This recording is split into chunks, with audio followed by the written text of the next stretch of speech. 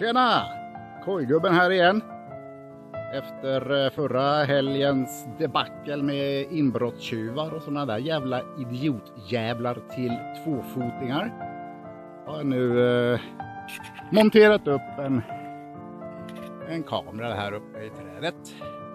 Med rörelsesensor och grejer så att, och infrarött till och med. Då, så att så fort det kommer någon hit sen så blir det bilder tagna på vederbörande. Och så har jag byggt en massa fällor runt omkring här i skogen också runt kojan och det här. Så att den som kommer hit kan få sig en ganska, ganska ond överraskning om vi säger så. Så nu är ni hjärtligt välkomna alla tjuvar.